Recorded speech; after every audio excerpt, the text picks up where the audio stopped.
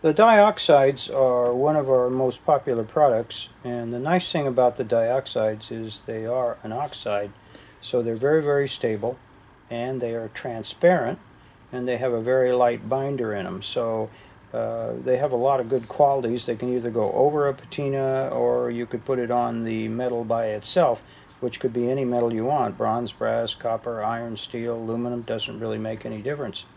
And because they have a very light binder. Uh, they work best with heat. Somewhere between, oh, maybe 100 and 150 is real nice. You can use a hair dryer, you could use a uh, heat gun, or you can use a propane torch, tina torch to do them. These are very, very concentrated. The only one that I ever use just straight out of the bottle or spray on straight would be the yellow but like the black, the red, the white, all of these are very, very strong. So most of the time, you're probably going to want to dilute them. Uh, I generally dilute, depending on what I'm doing, uh, anywhere from 25 to 50 percent.